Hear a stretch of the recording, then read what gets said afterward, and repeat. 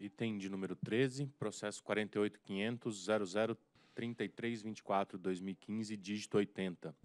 Pedido de reconsideração interposto pela Itumbiara Transmissora de Energia S.A., em face da resolução autorizativa número 6.118 de 2016, que autorizou a recorrente a implantar reforços em instalações de transmissão sob sua responsabilidade e estabeleceu os correspondentes valores das parcelas da receita anual permitida RAP. Relator, diretor Reive Barros dos Santos. Em 24 de novembro de 2016 foi publicada a resolução autorizativa 6.118, que autorizou a ITE a implantar reforços na associação de Ribeirãozinho sob sua responsabilidade, assim como estabeleceu parcela de RAP e prazo de execução para esse reforço. Por meio da correspondência ITE barra 29 barra 16, protocolado em 5 de dezembro de 2016, a ITE interpôs pedido de consideração contra a resolução 6.118. Em 12 de dezembro de 2016, o processo foi distribuído. Em 18 de janeiro de 2017, minha assessoria solicitou à SCT que analisasse as razões sustentadas pelo agente em seu pedido de consideração e emitisse nota técnica. A SCT avaliou o pleito em nota técnica 095 em 10 de março de 2017 é o relatório.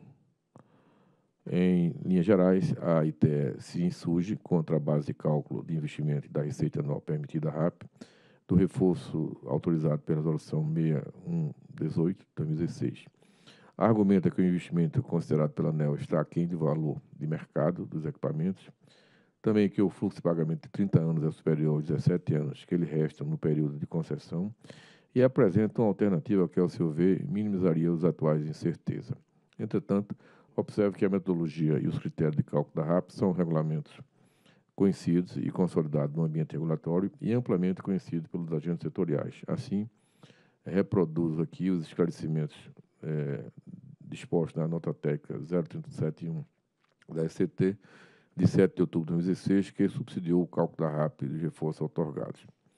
E na, na nota técnica ela diz que a autorização de reforço deve ser realizada utilizando o banco de preço de referência ANEL, conforme estabelece o artigo 7 do inciso 2 do decreto 2655, de 2 de julho de 98.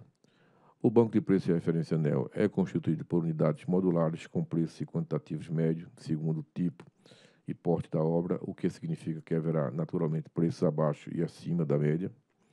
Os procedimentos para implementação de melhorias e reforços em instalações de transmissão sob a responsabilidade da concessionária de serviço público de transmissão de energia elétrica e as metodologias aplicáveis no cálculo da parcela adicional da receita da RAP são estabelecidos pelo submodo 9.7 do PRORET e, de acordo com esse documento, a receita estabelecida nas resoluções é devida à transmissora a partir da data de entrada em operação comercial do empreendimento.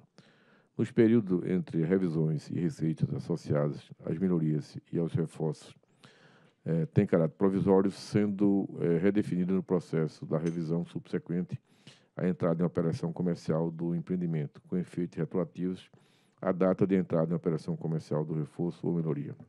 A eventual diferença decorrente da revisão do valor será considerada na RAP da transmissão em parcelas iguais até a revisão periódica da RAP subsequente.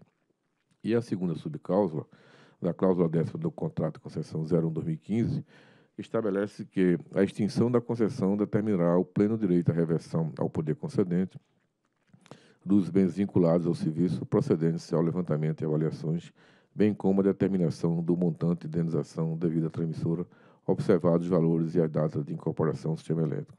Portanto, entendo que a remuneração pela prestação de serviço foi calculada de forma adequada e conforme o previsto no regulamento. A ITE também questiona o OC de 6,64%, considerado no cálculo da RAP, pois argumenta que foi calculado utilizando premissas não mais disponíveis para o setor de transmissão de energia. É, que o OC utilizado foi calculado conforme estabelece o sub 9.1 dos procedimentos PRORET e serão utilizados até a próxima revisão periódica das concessionárias de transmissão existentes quando os valores da parcela adicionais da RAP autorizadas serão revisados e eventuais diferenças para uma ou para menos serão, para mais ou para menos, serão incluídas na RAP revisada e serão pagas em parcelas iguais até a revisão da RAP subsequente, conforme a metodologia estabelecida na Resolução 643. Por fim, a ITE alega que, em 2004, quando da licitação não havia previsão de crescimento da subestação Ribeirãozinho, além do segundo transformador 500/230 e do segundo circuito 500 kV Cuiabá Ribeirãozinho, Rio Verde. Assim, a ITE construiu um galpão para o almoxarifado, considerando as informações prestadas pela ANEL naquele momento. Entretanto, continua sua alegação, a subestação sofreu ampliações para atender as linhas de transmissão Telespires, invertendo o crescimento da subestação no sentido de norte para sul, aproximando-se do citado galpão, de modo que será necessário a demolição para atender a resolução 6118 de 2016. Tal demolição e construção de um novo local distinto representa um custo estimado de 3 milhões, para o qual o ITE solicita receita adicional. Nesse ponto, recorro ao item 1.3.1 do anexo 1 do contrato de concessão. A subestação Ribeirãozinho será composta de um setor de 500 kV arranjo tipo disjuntor e meio e outros entre 30 kV com arranjo barra dupla e quatro chaves. O proponente vencedor deverá adquirir um terreno de aproximadamente 650 por 500, no que contempla a subestação na sua configuração final conforme previsto no diagrama de filar e na subestação Ribeirãozinho e intermediária, o modo geral a ser considerado deve levar em consideração a área de ampliação futura, com a aquisição da totalidade do terreno e execução de sua terraplanagem, drenagem superficial e cerca eliminatória. Dessa forma, entendo que a área do terreno adquirido para a construção da subestação Ribeirãozinho deveria estar preparada para receber a ampliação futura em toda a sua extensão. Portanto, o galpão do almoxarifado deveria estar previsto em local que não prejudicasse a utilização eh, de uma futura expansão da subestação. Em face do exposto, considerando que consta no processo 48.500 0324 2015 80, voto por conhecido de consideração interposto pela Entubiária Transmissora de Energia, SA, em face da resolução autorizativa 6.118, que autorizou a recorrente a implantar reforço e instalação de transmissão sob sua responsabilidade e estabeleceu os correspondentes valores das parcelas RAP para o mérito, para no mérito negado provimento. É o voto. Em discussão. Em votação. Eu voto com o relator. Também voto com o relator. Também acompanho o relator.